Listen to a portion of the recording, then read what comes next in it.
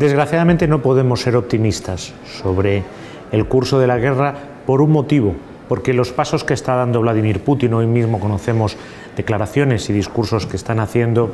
no van en la línea de una desescalada, sino más bien en una línea de un incremento de la retórica bélica. La valoración que hacemos es muy clara. Estamos ante una guerra de agresión que es ilegal, es injusta y es injustificada